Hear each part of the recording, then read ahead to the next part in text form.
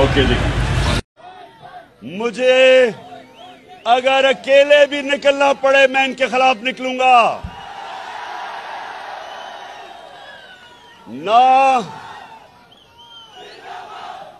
बस बस बस बस ना।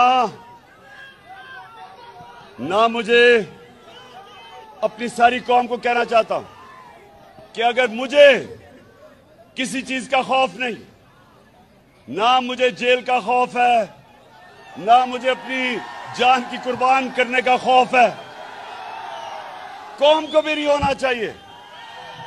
क्योंकि हमारा हमारा जब अल्लाह से आप दावा करते हैं, ला इलाहा इल्लल्लाह, कि नहीं है कोई सवाल अल्लाह के कोई खुदा अल्लाह के सवाल नहीं है।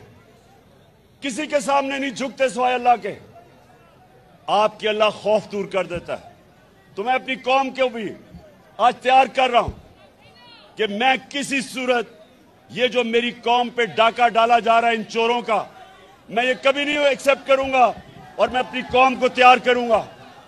कॉल की सारे मेरे इंतज़ार करना और जब मैं कॉल दूँगा इंशाला उसके बाद कोई वापसी नहीं होगी।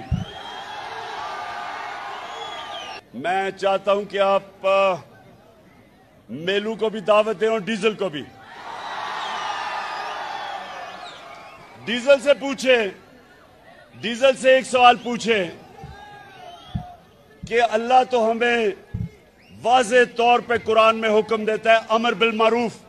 अच्छाई के साथ खड़े हो और बुराई के खिलाफ खड़े हो।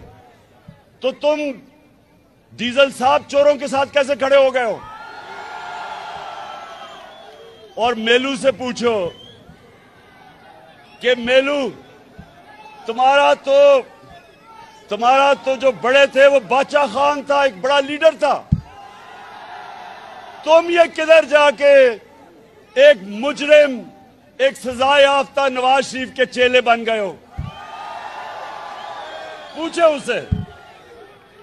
और एडवर्ड्स कॉलेज, मैं आप सबको आखिर ये कहता हूँ, आपने बनना है फ्यूचर लीडर्स, और आपने और आपने हमेशा इंसाफ के साथ खड़ा होना है, जुल्म का मुकाबला करना है, हमेशा आपने अच्छाई के साथ अमर बिल मारूफ, अच्छाई के साथ खड़ा होना है, और बुराई के खिलाफ जहाद करनी है पाकिस्तान जिंदाबाद।